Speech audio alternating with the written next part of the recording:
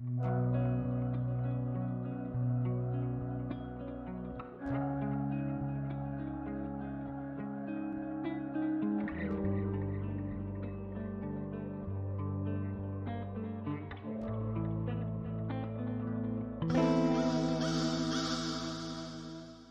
to Mysterious Goings On. We're going to get right to the show after these messages.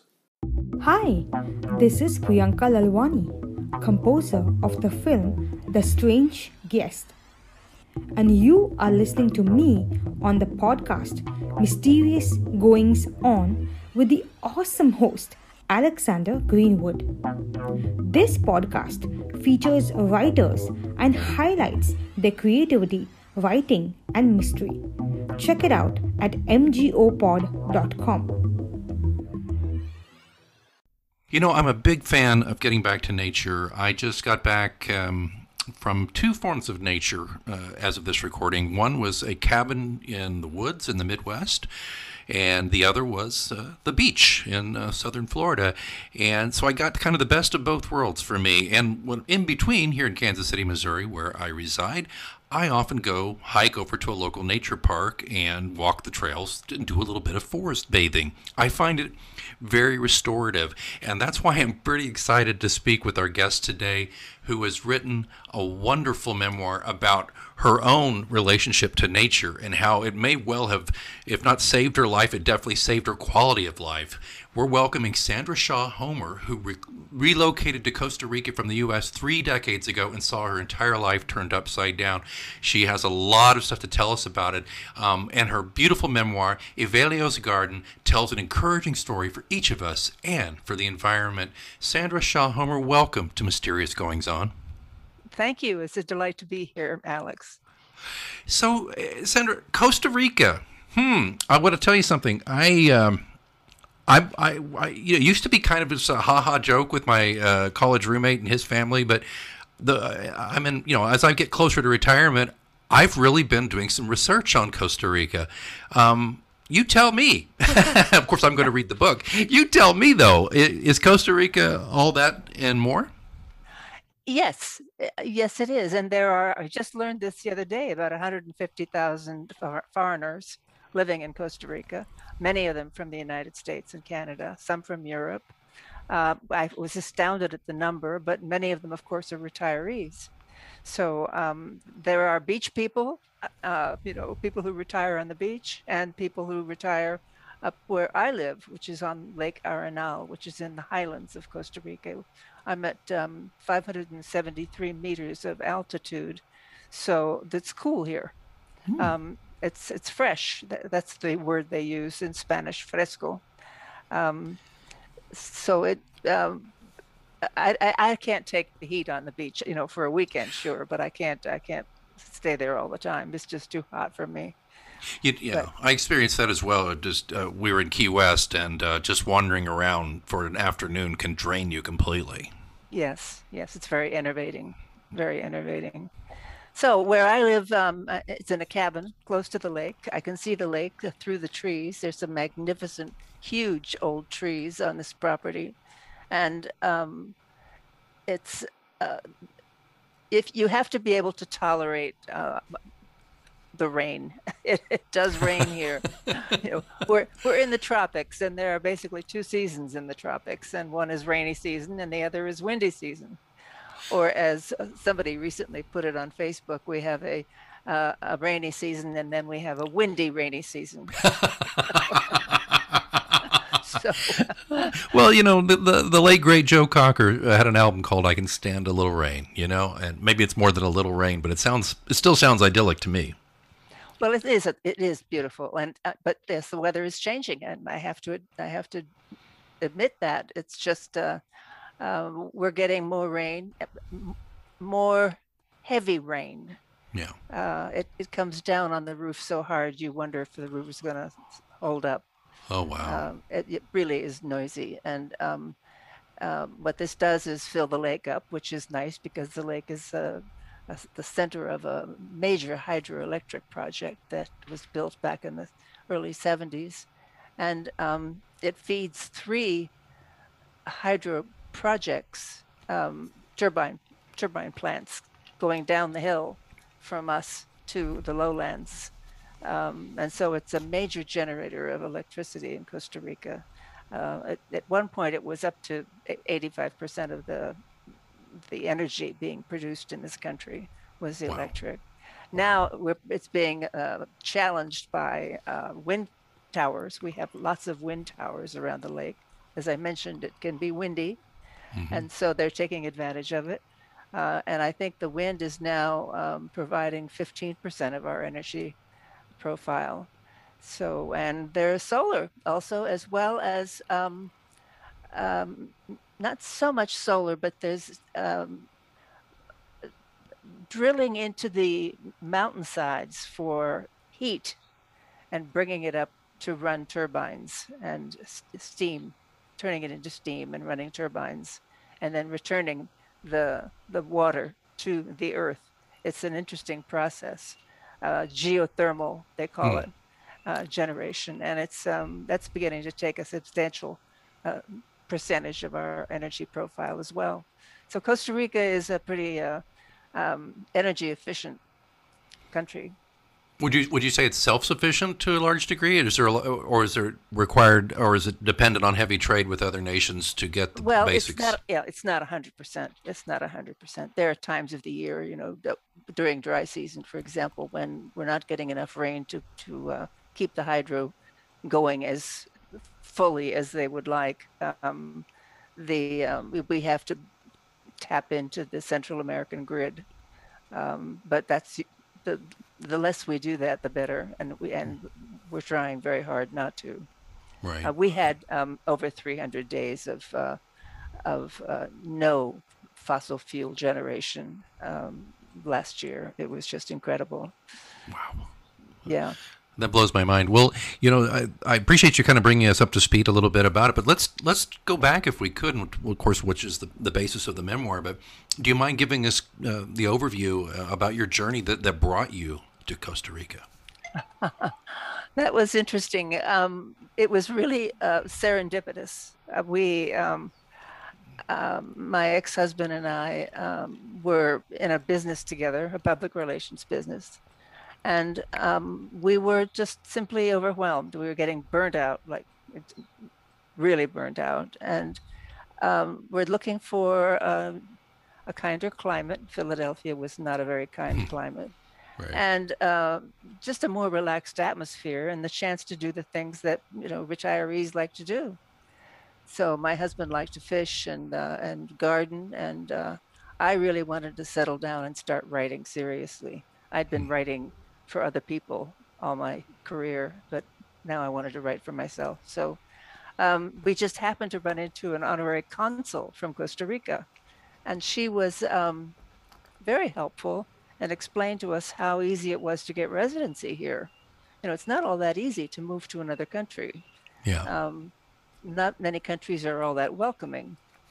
Um, but Costa Rica was at that time very welcoming. And they were looking for U.S. dollars, in fact, to generate, you know, a little bit more uh, economic security. And um, so we came down here and explored and looked around and found a, a wonderful house on a, a, piece of high ground in the Central Valley, looking looking over the mountains to the south. And uh, I just filled up. Uh, I, I, grew up in the country, but I'd been living in cities all my adult life, and uh, coming back to the country for me was just uh, absolutely magnificent. But it was it, took about a year and a half for us to sell our house, our business, and uh, and get ourselves organized for the move. But it was um, it was worth it, absolutely worth it. Uh, I uh, sense some parallels here. By the way, I, I, public relations is my day job, and uh, my mm-hmm. spouse is also in PR, so we all we all understand all too well. And of course, the urge to uh, get away. Our thoughts are just to get away from what can be fairly brutal winters as we get older, especially. It just seems like every year, the the prospect of shoveling uh, the driveway, et cetera, it just becomes more and more of a, ugh, no, thank you. So. Um, mm-hmm. It's something we're leaning towards, but um, but uh, but a lot started to happen to you and with you when you when you made this move, right? Yeah, unfortunately, my husband was a heavy drinker. I mean, the advertising and PR business, you, I'm sure you're aware, tends to be filled with people who do a lot of uh, three martini lunches. And um, I don't know, I, th- I, I felt that a move like this would really help to save our marriage as a marriage because as partners in a business, you know, you're not really a married couple. You're um, usually very angry at each other. Yeah. Oh my. so um, I thought that this would be a good move, and uh, but it turned out that uh, my husband didn't adapt very well. He um, he felt diminished by the loss of his prestige. He had enjoyed quite a lot of prestige in his profession in Philadelphia, and um, uh, he started drinking very heavily. I mean, first thing in the morning, drinking. Oh Yeah, wow. and um, the maid was telling me she was finding bottles of vodka all over the house, and uh, uh, it was, you know, when you're married to an alcoholic, you can you try uh, again and again and again to to help to get them to go to AA, to get them to go to a, a counselor, to uh, get them to stop drinking, Yeah. uh, and you keep failing. This is a, there's no way another person can can make an alcoholic change his mind, and um, so he he didn't. And uh, I finally had to say I needed a life of my own, not not completely dedicated to to um, to his life. And so we split uh, about six years after moving here, and um, it turned into a very rough divorce. But it um, it lasted about two years until we finally sat down at a table with a couple of lawyers and and got an agreement going. But it was um, it was tough because uh, the little bit of money that I was getting was barely enough. I moved into a tiny rental place, and uh, um, uh, fortunately, uh, unfortunately, I wasn't yet getting Social Security, so uh, it was it was rough times there for a few years, um, poverty time. But you know, you survive. Yeah. You, you learn to survive. I, I lived in Manhattan on a very very low salary for a long time, so I Yeah. can. I, I've been poor before, so I, I figured I could make it again, and I did. I did. Yeah, that's there's something about finding that I I had a similar thing happen to me, not completely the same, but uh, back in the day with another relationship, and you, you I think you find uh, some things within yourself when you go through trials like this. Uh, at least I did, uh, and I kind of figured out something that uh, I, I was tougher than I thought I was. Yeah, yeah. Uh, you have to, you know, survival is is uh, and it was necessary. so you just you just do what you have to do. I fortunately had friends in the Tico community who got me work very quickly teaching English uh, to uh, as a second language uh, to to groups uh, at night in in Tilarán, the town near where I live, and um, then I also found myself managing properties for absentee owners. And um, then I was getting involved with uh, interpreting in lawyers' offices for um, um, sales contracts and, and labor issues and so on. And so I was picking up enough money here and there. Uh, oh, and I was giving swimming lessons and piano lessons. I was Oh wow! turning myself to whatever I possibly could. And so I survived. I survived. Yeah, and in Evelio's garden, you, you you're telling this this story, um, and it, it parallels not only um, the the healing power of, of this garden and of this of nature, but also um, talking about how we must protect the environment. Can you can you elaborate on that? I got involved in that kind of accidentally. Um, uh, uh, the local office of the environmental ministry in Costa Rica uh, didn't even have a truck to go around and inspect and see what people were doing. Uh, and they were not really aware of what was happening on the lake. There was illegal logging going on, for one thing. And uh, I offered the services of my car to take an inspector down to a place where there was illegal logging taking place. And, and um, the first time I saw a six foot diameter tree on the ground, illegally cut, Oh uh, I just something snapped in me. I, I could I could understand the economic reasons for cutting it down, but I couldn't see how any human being could have done it. It's just uh, a tree is, is is a living, breathing creature, and uh, anyway, so I I got very involved in the environmental movement locally. Um, in fact, I was I was given the job of uh, presiding over the the Municipal Environmental Commission, and uh, we also had a, a private group um, that was dedicated to reforestation. We, we planted 10,000 trees around the lake. Uh, uh, got involved with a group that was trying to protect the lake area from um, development. You know, big, big money developers were coming in and trying to build condos and gated communities and so on, and they were completely ignoring the environmental legislation Hmm. just completely.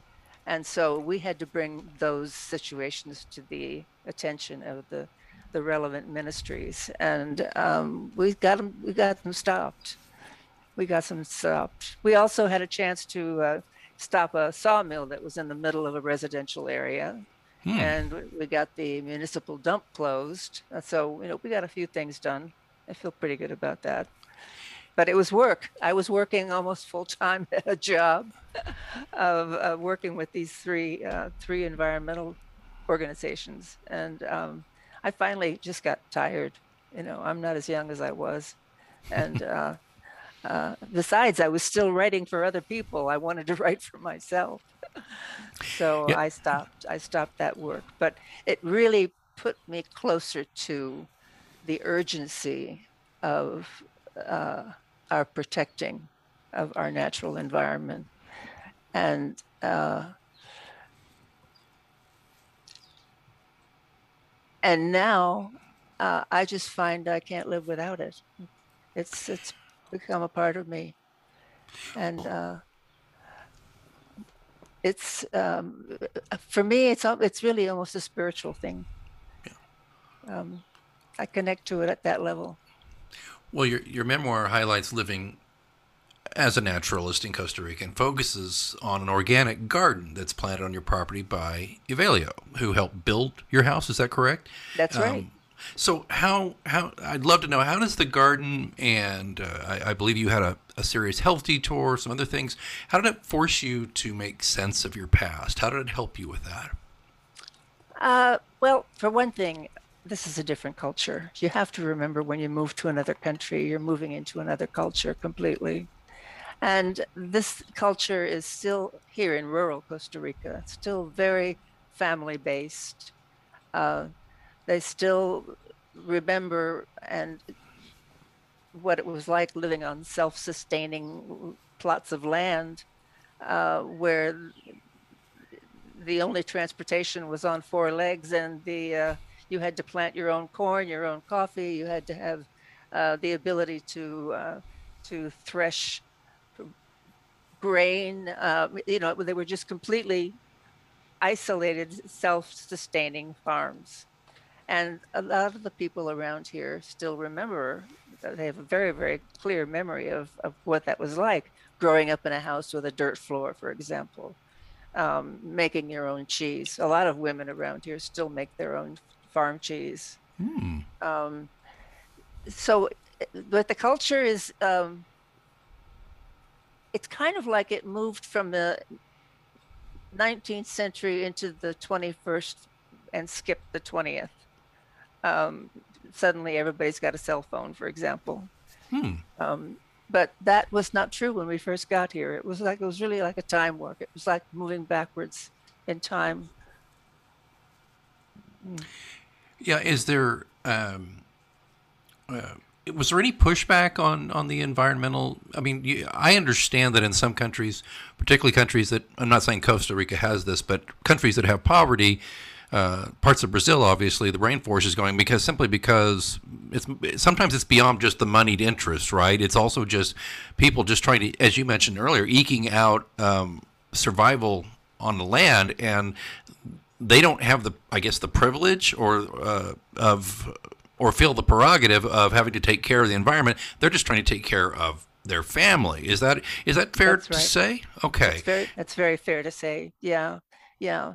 Um, that's not to say that there aren't big money interests involved also, but the the the real truth of the matter is that people living in this rural area, rural areas of Costa Rica, still have a very vivid memory of of what it was like, uh, and still is like, uh, on the indigenous reservations, for example. They, they're still living that style, that lifestyle.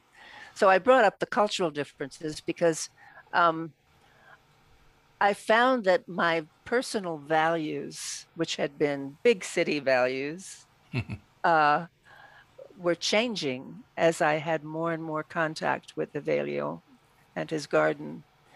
And I, I felt more connected to my inner self. Um, things that I had been ignoring in my in my own personhood, if you will, uh, started to come to the fore, and um, I realized I had to uh, I had to go about the business of of connecting my former self with my current self, Hmm. and that's why the memoir. That's and uh, um, it was important for me to get that get that in perspective, in my new perspective, because I see things very differently now from what I did 30 years ago. Is there something primarily that you see differently? Something that would just the most stark contrast to what you believed 30 years ago? Commercialism. And and here here we are both.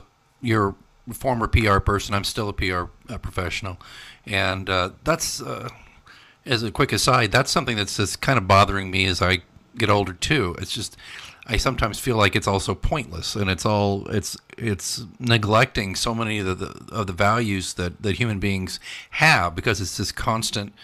Um, uh, well, we're, we're constantly chasing the dollar or chasing material things, and you can't take any of it with you. No, And no. I see so many people who are so saddened when they get a lot of the toys they want and they don't change their lives whatsoever. Yes, I think you're right. And it, living a simpler lifestyle helps. It really does. Uh, the um, as an uh, also the people here are kind. I have to say, I spent 30 days in this country and it did not hear a single rude word. It was just amazing to me when I realized that. You know, coming from Philadelphia, you, know, you get into a taxi and where you going, lady? You know. here, here, I had a wonderful experience here climbing into a taxi, and I'd been in the hospital for some tests, and uh, and it had been a painful process, and I was in an ugly mood, and uh, climbed into the taxi, and and he said, "How you doing?" And I said, "Well, not very well." So he launched into a story which turned out to be a shaggy dog story. you know what that is? Yeah, I do, yes. it, it went on for the entire trip back to the apartment. And I didn't realize it was a shaggy dog story, of course, until the very end. And I cracked up and I realized this man had taken the trouble to try to change my mood and make me feel better. Uh, and that was so kind. Uh, there's an essential kindness in the culture here.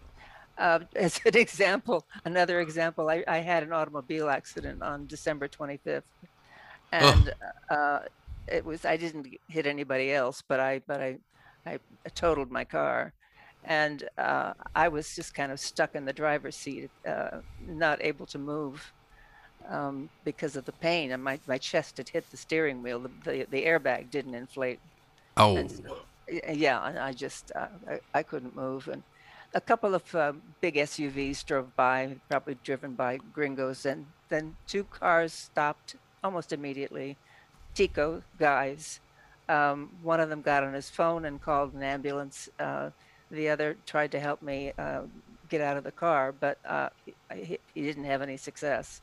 The Red Cross had to had to get me out. Um, but it was the Ticos who we call them Ticos who stopped and helped me. Uh, they always do. Uh, they don't just drive past. If they see a problem, they, they stop and try to help. well, That's that's uh, That's that's another part of this culture that I value very highly.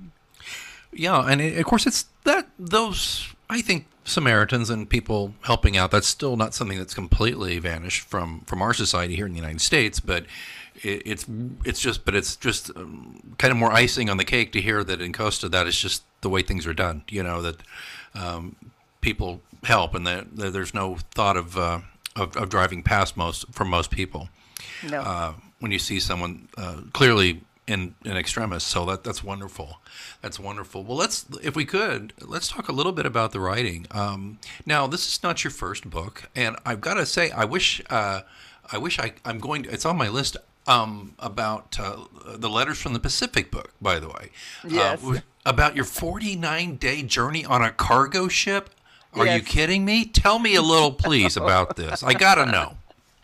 I don't know. I think I have an adventurous spirit. Um, you know, moving to another country. no kidding. Getting on, a, getting on, a, cargo ship, and I really had always had this kind of fantasy about climbing on board a cargo ship and writing a book. So that's what I did. Uh, I was not at all interested in a cruise. You know, three thousand other passengers, twenty-four yeah. hour a day food, entertainment, gambling. You know, no, no, no. I wanted the ocean that's that's nature also. I grew up uh, around um, the ocean. I had a lot of exposure to it growing up, and uh, had always felt something very special about the water. And so I wanted to be on the water on a ship, a working ship, and um, experiencing what that was like, and experiencing also this just the simple eternity of the ocean. This Ooh. is magical, just magical. Okay, but Sandra, I've got to ask though: uh, Did you just uh, call up the cargo ship company and say, "I want to be a passenger and hang around"? How did that work? there happen to be some uh, travel agencies that specialize in in car- cargo travel. Oh, yeah, yeah. I, I found them online. So. I shouldn't have asked because now it's it's a little less romantic. I just Googled it and found it. I'm just kidding. I'm just kidding. So, what were the accommodations like? Uh, I'm just I'm just dying to know. Was it? Absolutely did you were you absolutely comfortable? Absolutely comfortable. The room uh, had uh, two beds. Uh, uh, there was a, um, uh, a, a porthole, a, a, fairly big one. I could open and get fresh air.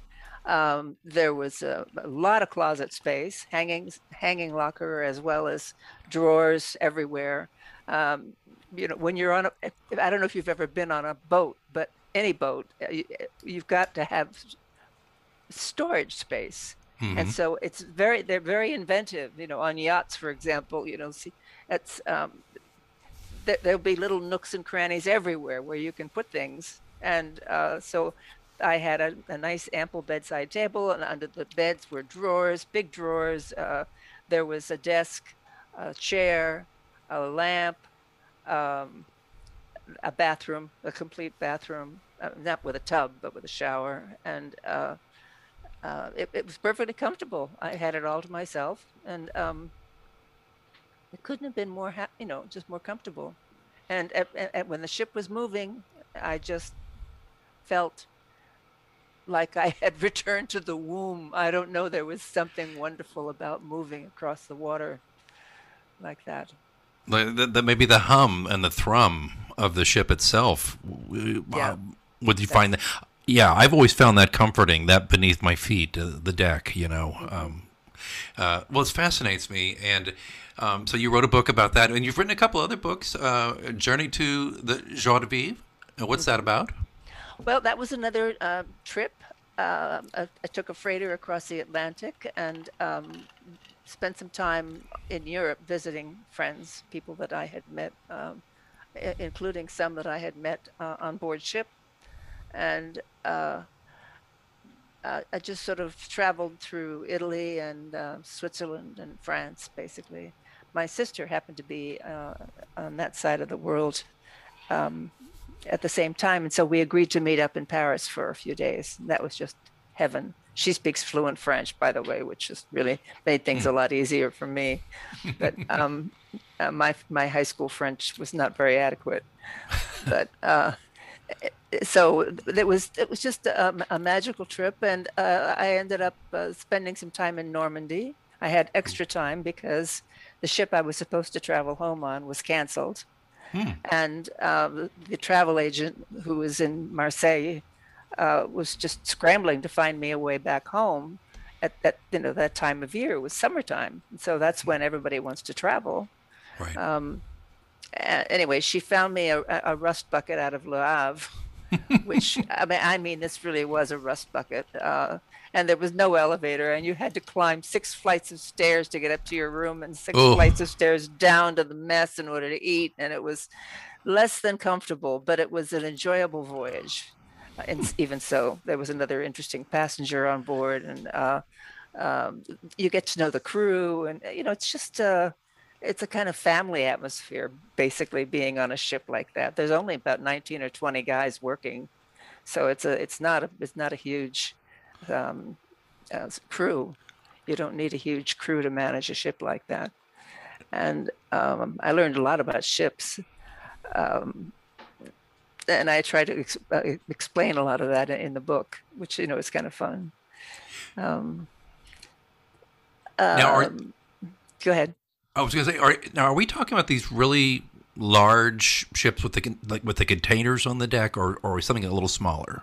no, this is an actually it's an earlier container ship. Um, I thought it was big, you know, but the new ones are four times bigger. I mean, uh, the the ship that I was on carried uh, 2,500 containers, something like that. The, the new ones are carrying 25,000. Just to Whoa. give you an idea. Yeah. Whoa. Yeah. Yeah. yeah. And so it's just uh, um, and the ship that I was on was built back in, um, it was built in 2009, 2009, 2001. I, yeah, the trip I took was in 2010. So it was a nine year old ship. And uh, for me, it was, uh, you know, gigantic. It was a long walk up to the, up to the bow. But um, I, I don't think I'd want to be on one of those Jagundo ones. They're just, um, um, I don't think you could ever reach the bow. Too much stuff in the way. yeah, right. Right. Uh, okay, you had another another work, The Magnificent Doctor Wao, is that correct? That's wow, that's correct. That's correct. I was uh, hospitalized, uh, almost died um, in intensive care on a ventilator for uh, 10 days. Oh my. And um, it had been a bleeding problem during a surgery and uh, it just wouldn't stop. Um, so they um, they they eventually saved me. Thank, thank goodness. Um, yeah. But um, I was you know on a ventilator. You can't talk. Right. And um, writing was difficult uh, initially, especially because I was sedated and you know I looked like chicken scratches writing. Um, but eventually, I was able to communicate my needs uh, in, to the to the staff uh, by you know, writing and uh, they were very impressed that I could write in Spanish. They didn't know that I could speak Spanish, but they were impressed nonetheless. And uh, uh, I just survived all that by writing in my head. I wrote the book in my head. Um, everything that happened to me while I was there, and, and the different personalities around me, and uh, um, it, it was uh, the only way I could really uh, keep my sanity. Although I have to tell you that I was being treated with so many steroids that I started hallucinating. Oh. And um, so I, I, I, remembered the hallucinations, they were very vivid. Mm. And so I, I wrote about them too. Oh my goodness. You have led such a fascinating life, and we have only scratched the surface. We haven't even discussed I mean, you're a Cornell grad. Uh, you published poetry. You've been interviewed. Uh, you, have been featured on Lisa Davis's uh, NPR program Talk Healthy Today. You wrote a column for the Tico Times. So you you you really have, I think, as we talked about earlier in the show, I think you really have opened something up within yourself, and you've and, and like a garden. Feel pardon me for torturing this metaphor, but you no, you have you have grown, and you you have grown wild. you know, I'm 74 years old now, and I look back on my life and I say, well, it sure as hell was interesting. and I think it was also useful. I mean, I did some things that were that were useful for the, to the community. Um, you know, I feel I've contributed. And that's an important thing to feel as, as you come to the end of your life. Um, it's been a useful life as well Oh. as as well as interesting and funny at times. Yeah.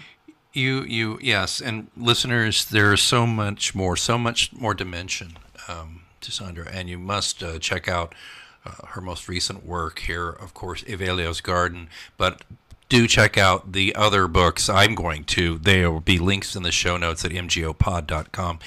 Uh, Sandra, I, I want to close out here, and sadly, I know that we're both busy people, so we got to get moving. But I wanted to ask you one last thing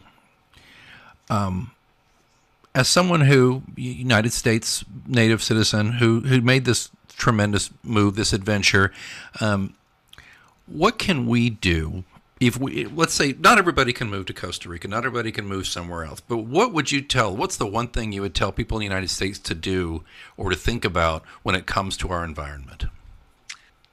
I just think that it's really super important to try to personally connect to the environment. I mean, just go sit in a park. I mean, if you're Yeah. a city dweller, just just give yourself a chance to to smell the green uh, in a park, to watch the watch the ducks and see what they're doing, and just stop, stop everything else in your life for a half an hour, and uh, go touch a tree. There's a circulation going on in a tree that runs from the little roots down in the ground all the way up to the leaves on top, and it it it pins the the tree to the the earth, and it's a creature. It's a living thing. If we if we feel more connected to the natural world, I think we'll feel more urgency about protecting it. And that would be certainly the message of Evelio's Garden. Um, but, uh, that's what I want people to take away from it. And of course, uh, my personal garden did develop as as uh, haphazardly as it as it has been, um, but I feel as if I'm finally beginning to enjoy its fruits. Well, uh, I I think you have led a magnificent life, and I am uh, privileged to have spoken with you today. And um, uh, Sandra, if, is uh, writingfromtheheart.net is that the best way for folks to uh, get in touch with you or read up on you?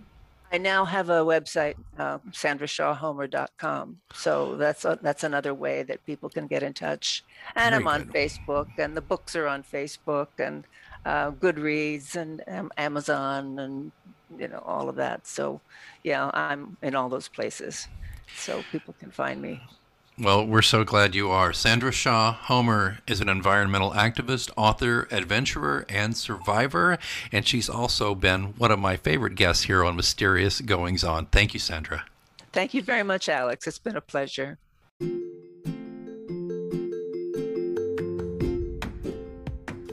Okay, who has a podcast, then writes an ebook about podcasting and doesn't do an audiobook version of it? Well, not me. I've done that. In fact, I'm very excited to tell you, dear listeners, that the podcast option, my recent top selling ebook on podcasting, my journey through 15 years as a podcaster, broadcaster, host, guest, and observer, is now an Audible audiobook it's really, really, really exciting for me to be able to present this to you through Audible, uh, which is available on Amazon.com, where the ebook link is as well. And in this fast listen, my experience uh, comes to you through stories, practical tips, and advice from my hundreds of hours as a guest, producer, podcast host, and more. And the podcast option, if I say so myself, is mandatory listening for those new to podcasting, and it should be a welcome addition to veteran podcasters' libraries. So, check out the podcast option read by yours truly, Alex Greenwood, or as they say there, the J. Alexander Greenwood, because that's my pen name, and that's a long story, which if you dig through my podcast, eventually you'll find out what that means. But the point being today, the podcast option is available now as an Audible audiobook. I've got a link in the show notes to make it easy for you. Please do me a favor, go get that audiobook. Or if audiobooks aren't your bag, there's also a link for you to get it as an ebook. Again, the podcast option. I certainly hope you will choose it.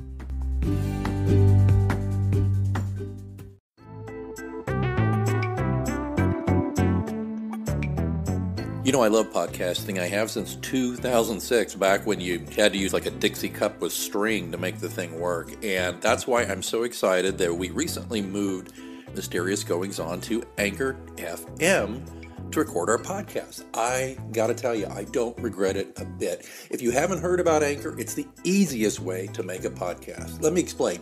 First of all, it's free. There's creation tools that allow you to record and edit your podcast right from your phone or computer. Anchor will distribute your podcast for you so it can be heard on Spotify, Apple Podcasts, and many more. And you can make money from your podcast with no minimum listenership. It's everything you need to make a podcast all in one place. Not going to lie to you, when I first heard about Anchor, I was a little dubious because I've been doing it the hard way for so long. But I got to tell you, it's very easy. Use a Stripe account get sponsors. You're not paying monthly hosting fees. The sound quality is great. The distribution is phenomenal. Friends, download the free Anchor app today if you want to start your own podcast or go to anchor.fm to get started. Remember, you heard it here first on Mysterious Goings On.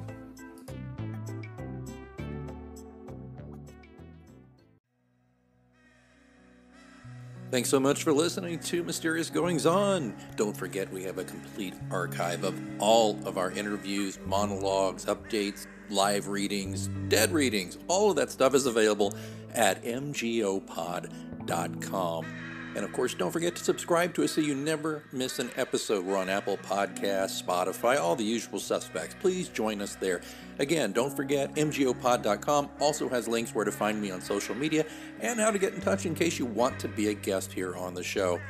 Well, I think it's time that I move on for this week, but until next time, keep reading.